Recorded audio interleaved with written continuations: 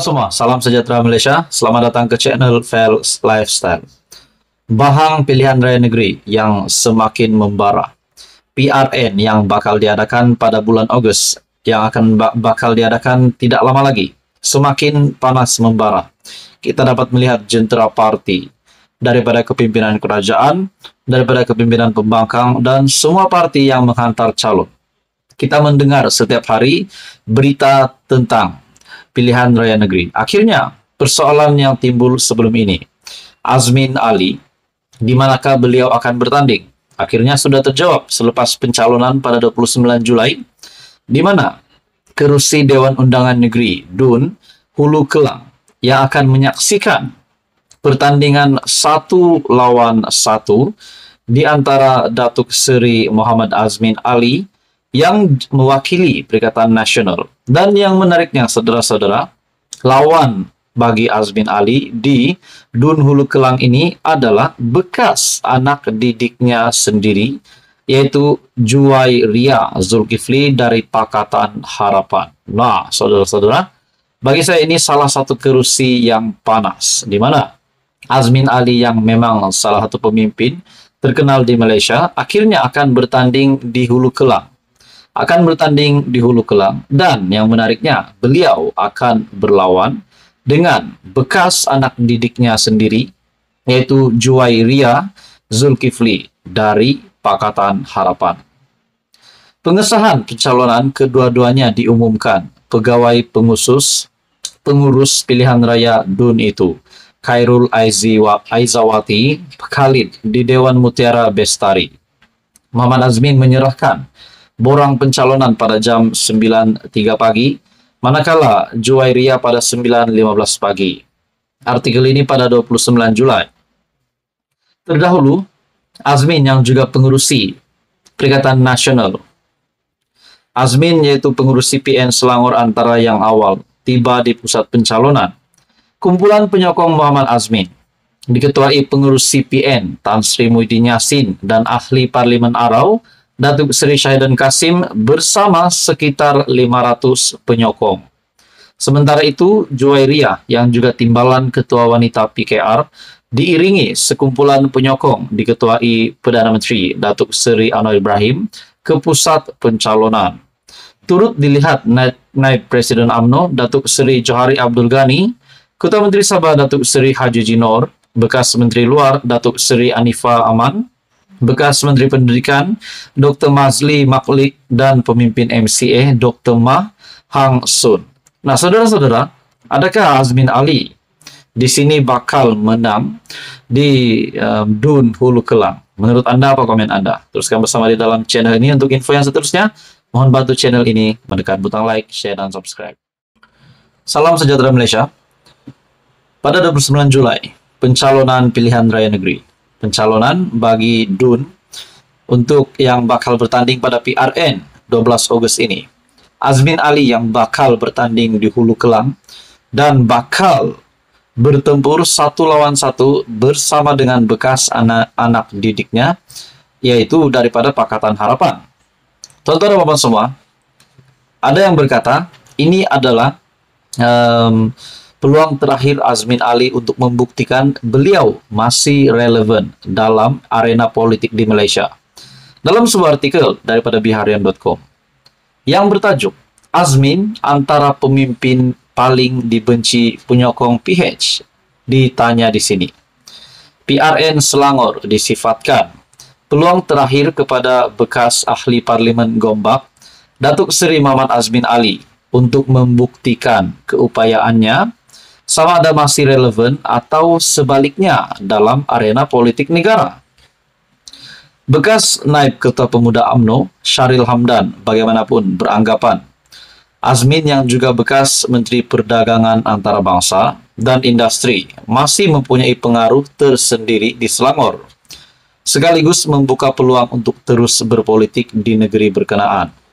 Saya anggap ini adalah peluang terakhir buat Azmin Walaupun beliau hanya pernah kalah sekali, yaitu pada pilihan raya yang lalu. Tetapi saya tidak rasa kerja beliau akan bertahan lama dalam dunia politik. Bertahan dalam dunia politik. Sekiranya beliau kalah sekali lagi dalam PRN, dua perkara akan berlaku. Politik negara akan meninggalkannya atau dalam bersatu sendiri. Beliau mungkin tercicir berbanding beberapa pemimpin lain. Katanya pada program podcast Keluar Sekejap dikendalikan bersama Ketua Pemuda UMNO, bekas Ketua Pemuda UMNO, Khairi Jamaluddin ataupun KJ. Saudara-saudara, adakah benar apa yang dinyatakan oleh Syaril Hamdan dan juga dalam kenyataan ini? Peluang terakhir Azmin adalah pada pilihan raya negeri yang bakal diadakan pada bulan Agustus, pada 12 Agustus. Azmin Ali yang bakal bertanding di Hulu Kelang. Uh, menurut Syaril Hamdan adalah peluang terakhir Azmin untuk membuktikan beliau masih relevan dan sekiranya Azmin Ali kalah ini akan adakah ini akan um, adakah ini akan membawa impak negatif kepada kepimpinan PN dan bersatu?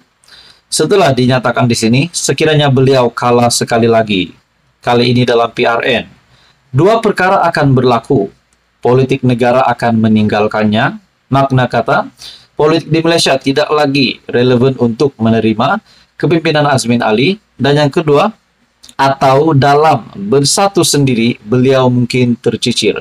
Adakah di sini Azmin Ali pun bakal disisikan daripada kepimpinan PN dan bersatu sekiranya Azmin Ali kalah pada PRN di Dun Hulu Kelang. Nah, saudara-saudara, saya um, secara pribadi saya bersetuju dengan kenyataan Syaril Hamdan. Ada di mana di sini adalah peluang terakhir um, Azmin Ali membuktikan bahwa beliau masih relevan.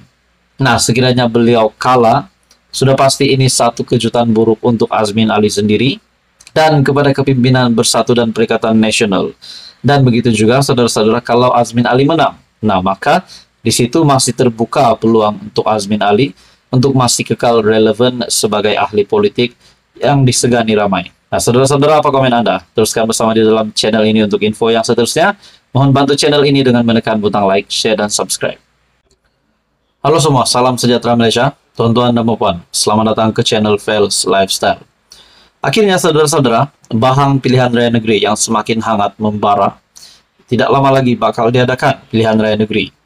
Pencalonan pun sudah um, selesai pada 29 Julai.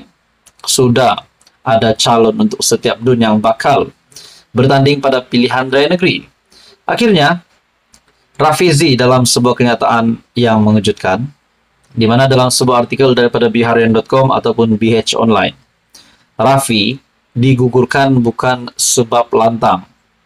Parti Keadilan Rakyat PKR menafikan pengguguran nama penyandang kerusi Dun Ampangan Datuk Dr. Muhammad Rafi disebabkan kelantangannya mengkritik kepimpinan parti itu. Jadi Rafi digugurkan bukan sebab lantang. Nah akhirnya timbalan Presiden PKR Rafi Ziramli yaitu Menteri Ekonomi membuat kenyataan bagi saya ini mungkin pemecatan mengejutkan ataupun pengguguran mengejutkan. Timbalan Presiden PKR Rafi Ziramli berkata terdapat juga penyandang lain yang digugurkan sebagai calon kerana di peringkat parti mahu memastikan keseimbangan dan memberikan peluang kepada calon muka baru. Kita nak kekalkan supaya ada penyertaan calon wanita yang lebih tinggi. Kalau tidak, tak cukup. Kalau dahulu sebelum adanya kerajaan perpaduan, PKR boleh bertanding 15 hingga 20 kerusi. Tetapi sekarang kita ada 6 kerusi sahaja. 6 itu kita nak pastikan paling kurang 1 per 3 itu adalah wanita katanya kepada pemberita. Muhammad Rafi sebelum ini membuat kejutan di pusat penamaan calon Dun Ampangan di Kompleks Belia dan Sukan Paroi apabila tampil sebagai calon bebas pada pilihan raya negeri ataupun PRN.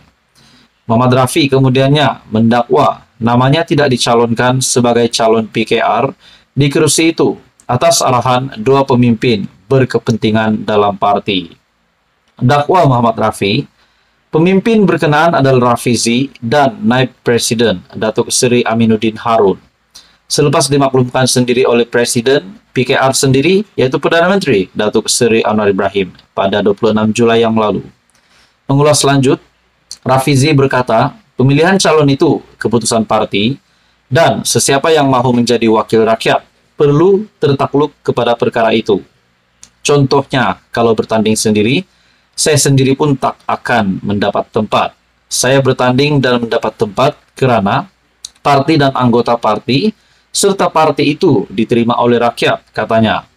Dun Ampangan menyaksikan pertembungan tiga penjuru apabila Muhammad Rafi akan disaingi oleh calon PH Tengku Zamra Tengku Sulaiman dan calon PN Muhammad Ghazali Zainal Abidin.